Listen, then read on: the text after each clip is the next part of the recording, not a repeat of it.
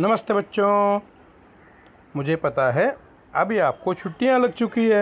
ये summer vacation की छुट्टियाँ हैं।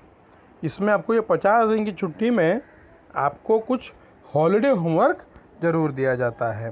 तो मैथ में क्या क्या हॉलीडे होमवर्क है, इसके बारे में आज हम चर्चा करेंगे। और कैसे करना है, क्या करना है, ये सब चीज़ मैं बताऊँगा। लेकिन बच्चों, ध्यान रखिए, आप घर से बाहर मत निकलिए।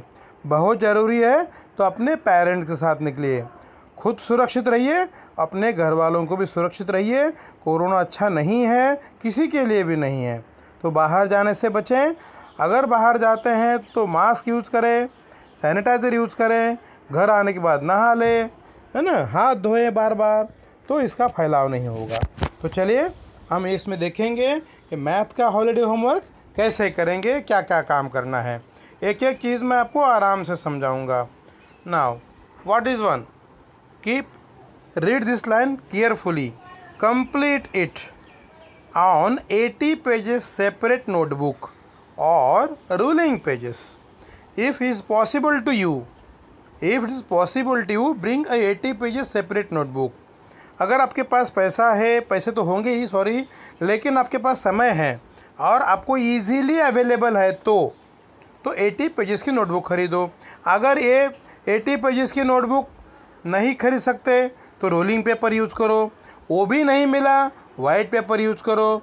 वो भी नहीं मिला तो आपके घर में जो पेपर है, जो अलग से अगर कोई पुरानी रफ कॉपी है, पिछले साल की कोई सब्जेक्ट की कॉपी बची हुई है, वो भी आप यूज़ कर सकते हैं।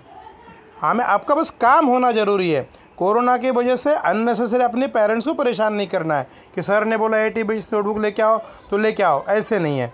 आपके पास घर में जो अवेलेबल है, उसमें आप पूरा काम कर सकते हैं। ठीक है? चलिए, आगे। लेकिन ये काम मैंने लिखा है, ध्यान से पढ़िएगा। Do not write in the regular math notebook very simple हमारी जो फेयर कॉपी है, जिसमें हम हर दिन काम करते हैं मैथ का नोटबुक में जो काम लिखते हैं, जो मैं आपको पढ़ाता हूँ, वो लिखते हैं। तो उसमें वो काम आपको नहीं करना है। इसलिए मैंने डोंट को पूरा ब्लैक से कर दिया, अलग से कैपिटल में लिखा कि आपको रेगुलर नोटबुक में आपको ये काम बिल्कुल भी नहीं करना है। तो ये प्रिकॉशन आपको लेनी है। चलिए नेक्स्ट अब क्या काम करना है वो ध्यान से सुनो।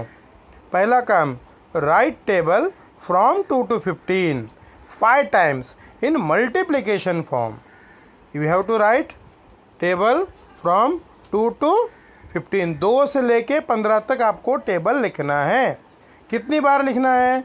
तो पचास दिन में पाँच बार। पचास दिन में पाँच बार मतलब दस दिन में एक बार लिखना है। बट लिखना कैसे है? मल्टीप्लिकेशन फॉर्म में। कैसे लिखना है? मल्टीप्लिकेशन फॉर्म में। देखो, मैंने एक एग्जांपल आपको दिया है, इस तरीके देखिए। इस तरीके टू वन जा टू टू टू जा फोर। आपको इस तरीके से लिखना है, आराम से लिखना है। आपको स्ट्रेट लाइन खींचनी है। याद रखिए बच्चों, जब आप लाइन खींचोगे तो स्केल और पेंसिल से अच्छे से लाइन खींचना और ये आराम आराम से लिख लेना।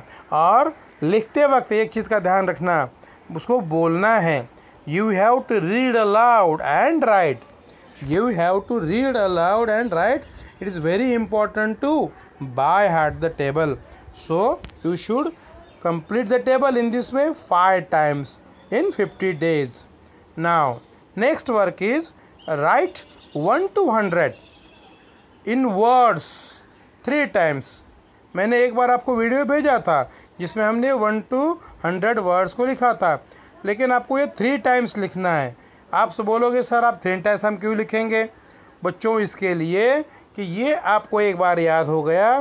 तो जो नंबर नेमिंग है, number how to write number in words हैं, वो बहुत आसानी से कर सकते हैं बच्चों। तो ये इसको, इसका जब लिखेंगे ना बच्चों तो नंबर और स्पेलिंग बोलना है। मतलब कैसे?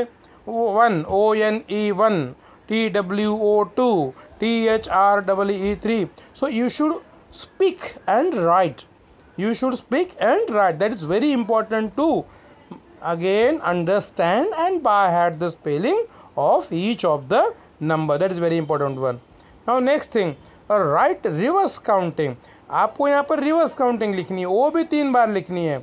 पचास दिन में तीन बार। उल्टा रिवर्स मतलब कैसे? पहले हंड्रेड लिखेंगे, फिर नाइन्टी नाइन फिर नाइन्टी एट फिर नाइन्टी सेवन फिर नाइन्टी सिक्स फिर नाइन्टी फाइव इस तरीके से। कहाँ तक लिखना है?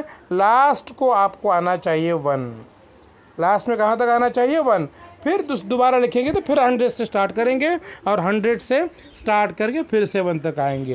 तो ऐसे आप तीन बार इसको लिखना है।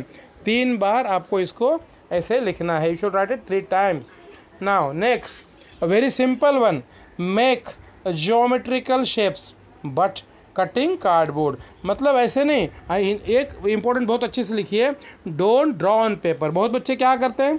पेंसिल से वाइट पेपर पे बनाते हैं सर हो गया। नहीं, ये मॉडल नहीं है। आप जो करेंगे वो ड्राइंग करेंगे। या हमें मॉडल बनाना है।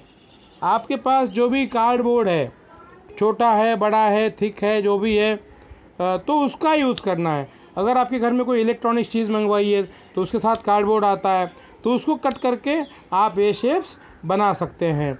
अगर किसी को लगता है कि, सर, मुझे थ्री में बनाना है। तो आप थ्री में बना सकते हैं। मतलब जैसे एक्चुअल बॉक्स होता है, वैसे भी बना सकते हैं। तो यहाँ पर बच्चों, आप या तो टू या थ्री आप इसमें से टू या थ्री में से आपको जैसे आता है वैसे बनाना है। लेकिन किस किस का बनाना है बच्चों? तो first triangle first triangle second one is square, next rectangle and then circle. Only one of each. एक ही बनाना है। ऐसे नहीं कि बहुत सारे ट्रैंगल बना लिए। लेकिन उसको याद रखिए मीडियम साइज़ होना चाहिए। Size must be medium it is not too much large not too much small it must be medium size so only make four geometrical shapes by cutting cardboard you can make it a two D shapes और three D shapes as per your availability of and as per your thinking. Okay बच्चों? तो ये सब करिए और ये सब, सबका पीडीएफ बनाइए। स्कूल चालू होने से दो चार दिन पहले आप इसको अपने टीचर को अपने जो भेजना है वहाँ उसको भेज दीजिए। अपने टीचर से पूछिए। अगर गूगल क्लासरूम में कहते हैं तो वहाँ भेजिए। अगर वो कहते हैं व्हाट्सएप में भेजो तो व्हाट्सएप में उसको भेज दीजिए।